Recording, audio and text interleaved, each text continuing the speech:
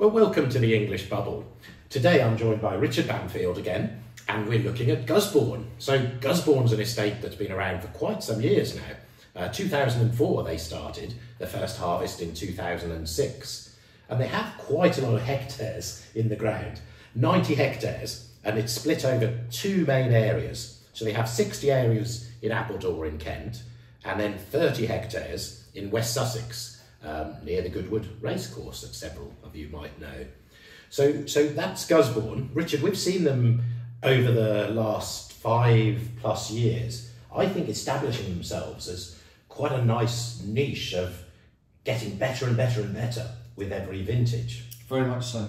They've grown very, very steadily. They've been growing Right. in size, they've been growing in stature, they've been working on their image. I love the, I, I, think the, the branding is really nicely done. Right. Good, bold branding on the label, very much building the Gusbourne brand. Yeah. And with 90 hectares, of course, that does make them a serious player in Mhm. English sparkling wine. Good, good size. And they, I find they're doing a, a very, very good job. Whenever I do, I'm involved in blind tastings of English sparkling wines, Gusbourne is always up. Right. You know, their wines are never far off. They're also making some lovely still wines. It's not Uh-huh. the subject of today, but their Chardonnay and Pinot are two of England's best still wines, I would say. They're doing a, they're doing a very good job. They're setting an excellent example, and I like the fact they're again they're relatively adventurous. They've come Uh-huh. out with certain cuvées. Um, different. They've been quite ambitious with some of their pricing for one or two wines. Yes. But I, I don't mind that. I like the fact that they're trying things. And I also think that if you're a, a winemaker or a viticulturalist, you have to have new goals all the time. Yeah. They love being set. Well, can you do this? What can you achieve here? And that's what's going to take England forward. Yes. Because remember, it is still a very, very young business. You know, Gusbourne isn't even 20 years old yet. Right. So I, I like the fact that they, they're setting themselves these targets. How can we improve? How can we get better? And so, so I, I, I applaud these initiatives personally. And kind of an interesting fact here is often what we would say would be in champagne, the equivalent would be the entry level brut non vintage. Mm-hmm. Now, in England, this doesn't actually happen in many cases, does it? It's the, it's the entry level vintage. It's, it's so true because English sparkling wine has been in a fortunate position of uh, demand exceeding supply Right. for the last 10 to 15 years. And so they've, they've, they've because they've been keen to bring in some revenue, because Uh-huh. as we know, plant, setting up an estate, planting a vineyard is an Yeah. expensive process. They've been keen to try and bring in some revenue as quickly as possible. So that's meant that most English sparkling wine has been vintage Right. rather than non-vintage because they haven't been able to build up the reserve Reserves. stocks. That's begun to change, of course, Uh-huh. with the 2016 vintage, which was relatively plentiful. Some of the bigger estates, like Gusbourne, started being able to put down some reserve wines. So Yeah. we're seeing one or two more non-vintage wines now than we had in the past. Yes. So this is all 2018. Um, what I think. And actually, interestingly, the dominant grape variety is, is Meunier. So 46% is Meunier, and 19 is Pinot Noir, and the remainder, 35, is, is Chardonnay. So very much um, dominated by the, by the red grapes here. And are you picking up um, Meunier as the dominant, or I suppose I expect Meunier to be fruity. Yes. That's exactly what this is. yeah, Um, I'm struggling at the moment to be a bit more specific on the fruit, but both aromatically on the palate, it is the fruitiness of this wine that, that, that leaps out. Plenty of flavour. Uh, the palate is lovely. It's just it's just delicious already. You can. I think it does it does what a cuvée, a non-vintage, Yes. should do. It's giving a lot of pleasure right now, but certainly Yeah. Now they say a little bit, so it's predominantly stainless steel fermented, and it, it does say a small percentage is barrel fermented. So you know there's a little bit of oak contact, That probably helps a little bit with with the mouthfeel. and there is you know we, we mentioned this term. There is a little bit of reductive um, Yep. charm to it. Bit of reduction, but not to the extent that it Right. conceals the fruit in any way, I don't think. I think it's a, a complexing factor Mhm. rather than a, a dominant factor, let's say. On the palate, isn't that funny? I think the palate's giving more away than the, the aromatics. Um, it's got so much to it, hasn't it? And it's really interesting because we've it's got plenty of flavour at the front of palate, yes. but and this is interesting given that it's Meunier based because it's not always what you expect from Meunier, but it follows through really nicely on the finish as well. Yeah. It lasts well. There's the freshness, the liveliness. Mhm. They just lead to what I find is a lovely lingering aftertaste. Mhm. It's beautifully done. Dosage, you're conscious of the dosage, the sweetness of fruit, Yeah. but in a, a very pleasurable way. I, I'm liking the, I almost got like a cranberry, you know, like I associate cranberry with a little bit of sharp, yeah, slight bitter element. Yes. There's almost like some of that quite attractive red fruit with just a little bit of a bitter twist that I'm quite liking. it, it, it certainly adds something to it, doesn't it? It's a, it's, oh, it's sheer joy. Drinking beautifully. So there we go. Um, now this was disgorged. Um, let's just have a look. This was disgorged in April 2022. So, you know, 10, um, 11 months um, post disgorgement. So maybe that's just coming out of its Right, okay. A little sleep after Always, always good if you can allow a few months, isn't it, after after disgorgement? Certainly, it's shown beautifully. I think there's some lovely fruits um, concentration in it. Yeah.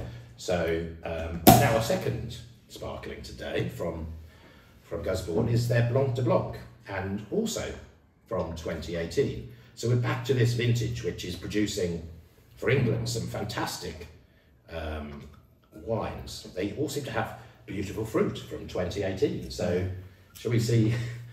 Shall we see what this one's um, what this one's doing? So obviously it's all Chardonnay. This I'm looking forward to this because the, so the CEO and head winemaker at Right. Gusbourne is Charlie Holland, who used to be at Ridgeview. He was the, the senior winemaker at Ridgeview for many years, and Ridgeview are considered one of the top Blanc de Right. Winemakers. So it'll be very interesting to see how he's getting on with. So again, like um, like the the the, the brut, um, then this is also predominantly stainless steel fermented. Does say a little bit is barrel fermented. Um, I'm not picking that picking that up, so there's not a sort of overwhelming um, oak impact from this. I'm not picking it up on the nose so much. I pick it up a little bit on the palate. Mm-hmm. In terms of the, the breadth on Mm. the palate and some of the, the, the flavour profile. That slightly, I always find it hard to describe, but it's because it's not a woody note. It comes across as maybe something slightly honeyed, Yes. something along those lines that indicates a little bit of oak. Now the one thing I do love about this is the lemon, uh, lemon's lemon richness. Yeah. is as like you know like I call them dripping drippingly ripe lemons they've got that beautiful um, uh, concentration It's so often Blanc de Blanc, whether it's from England or, or Champagne, the wines, particularly when they're relatively young, Uh-huh. like this one, you're conscious of a tightness. And you're, you're admiring a precision mm-hmm. without necessarily admiring great intensity or, or complexity of flavour. right I suppose what I like here is that even in a relatively young wine, yes they've produced something with quite a lot of flavour already, quite a lot to like even now. And you feel it can still go further. It looks, smells, and tastes very young.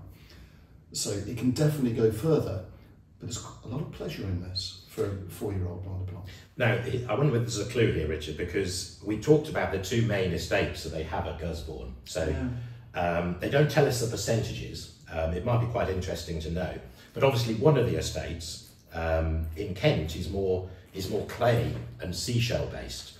And it's not till we get to the other estate where they're more classically chalk based. So we've got those two components which might account for the that, that depth you were It might well talking about. I, I think Gusbourne are in a, a, a privileged position in this respect because I think we're going to hear much more in the coming years about the relative merits and relative character of grapes and wines from the Mhm. different counties.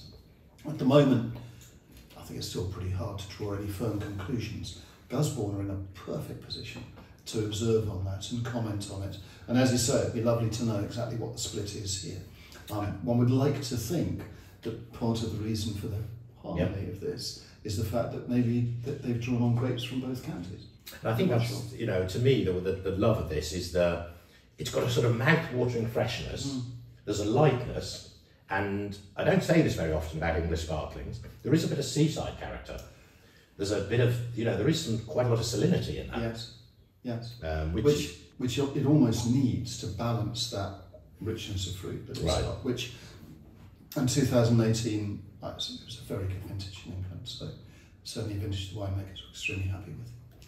so to me, the, um, it's fascinating, isn't it? Both from the same vintage, obviously predominantly red grapes, and a good chunk of the red is Meunier, and then obviously all Blanc de Blanc. Um, two very, very different um, outcomes of what we're seeing in the glass. I'm, I'm, I'm drawn immediately to the Blanc de Blanc. I think it's very elegant. I love its lightness, and it's got what I call that um, sort of moreish character. I'm going to follow my carpe diem Epicurean uh, uh, side of my, my Okay. character now, and I'm going to go for the Br- Brut Reserve actually. Oh, Because that for me is giving me the joy right now. okay. Love that. Lots of flavour, beautifully balanced, and I'm really pleased to see a, a, a sort of cuvee wine like Mhm. this showing so well. Well, this is it's going to be fascinating to watch Gusbourne, like many of the English sparkling um, wineries, because they're getting better every year. And I think as their winemaking um, gets better and better, which we're definitely seeing, the vineyards are getting some age. Um, the future, I think, is very interesting. They have an expensive cuvee that's just come out, so you know there's lots happening. There is Um, lots happening. Thank One you, Richard. Thanks. Um, Chardonnay and well, no, no preference there. So Well done to Gusbourne. well done to Gusbourne. Onwards and upwards. Cheers, everybody.